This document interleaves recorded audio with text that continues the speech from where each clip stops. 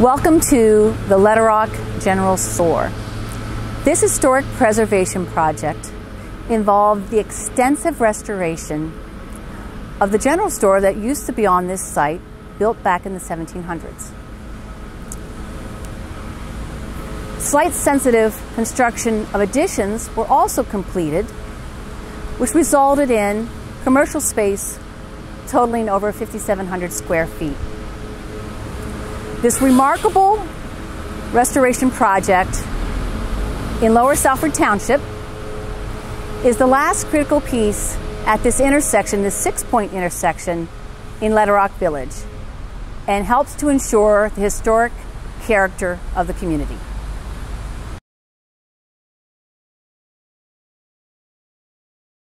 Projects, of course, have been my lifelong work. Uh, I moved here in 59 and almost immediately became involved in construction and built onto my own house and then bought a stone house. Another old Lederach farmhouse where our kids grew up, about just down the road, two or three houses. And then, of course, 19, uh, 2002, my sons and I got together and, and uh, bought this property. So it was quite natural that all of us are involved in construction so that we took on this project as, as a family project. It was the pride of this community, you know, moving here when my kids would ride tricycle on Route 113 uh, in an age when uh, small villages was very uh, unique in this area and that we wanted to keep the pride here. So that's, that inspired me anyway. Keeping the old building has its challenges, and one of those challenges, of course, is elevations. So we had to live with elevations. We wanted to make it accessible, which we did, and it finally worked out better if we would lower the floor by seven inches, which means removing the old beams. Uh, the amazing thing about this project was the condition of the wood, old wood, and the stone. It's amazing, great condition. If you look at any of the wood that's still showing, including the beams in the, in the uh, roof. They're all in good shape. They're in great shape, as a matter of fact.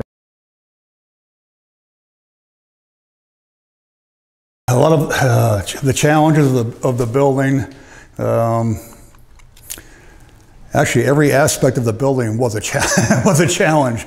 The, you know, any, anything new in this part, uh, uh, bringing together the, uh, the, the, new to the old.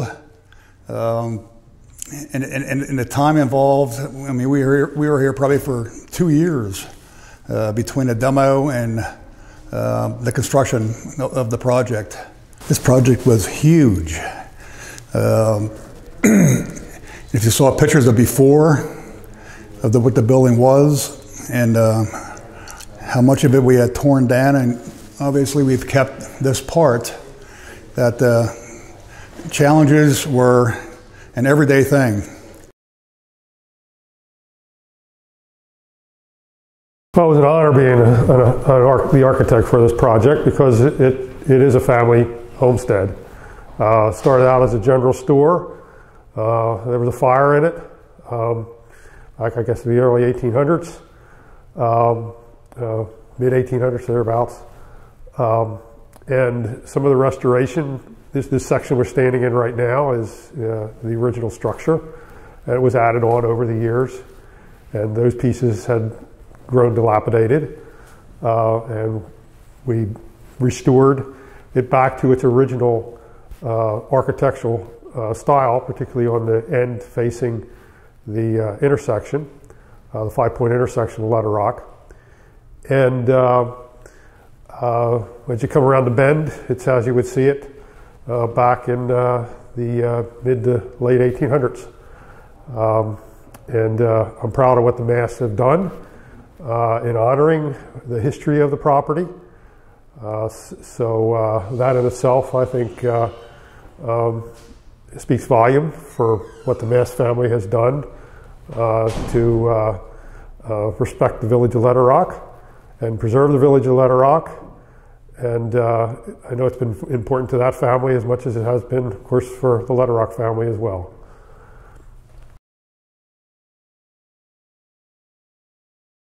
I'm the uh, vice chairman of the Planning Commission here in Lower Salford Township. And one area that I think has been underrepresented in the uh, awards and in just architectural recognition in the county are some of our smaller projects and some of our village areas. Uh, over the years, uh, I watched this project take shape, and uh, I always thought that they had done a, a, wonderful job, not just on the building itself, but also on how they were able to blend in with uh, the existing village environment. And so I thought that uh, they did a great job. Uh, this is something that here in Lower Salford we're very proud of. And so we're, we're very honored that the county has given us the Montgomery Award.